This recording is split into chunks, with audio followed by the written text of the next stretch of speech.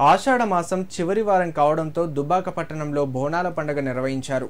ముద్రా సంఘం ఆధ్వర్యంలో మహిళలు నెత్తిన బోనం కుండ ధరించి శివసత్తుల నృత్యాలు డప్పు చప్పుల వాయిద్యాలతో ఊరేగింపుగా కోటమైసమ్మ ఆలయానికి వెళ్ళి బోనాలు సమర్పించారు. ఈ సందర్భంగా అమ్మవారి ఆలయాన్ని భక్తులతో రిపీట్. ఈ సందర్భంగా అమ్మవారి ఆలయాలన్నీ భక్తులతో కిటకిటలాడాయి. ప్రస్తుత వర్షాకాలంలో సమృద్ధిగా వర్షాలు కురుస్తున్నాయని రాబోయే రోజుల్లో పంటలు సమృద్ధిగా పండి ప్రజలంతా సంతోషంగా ఉండాలని వేడుకున్నారు.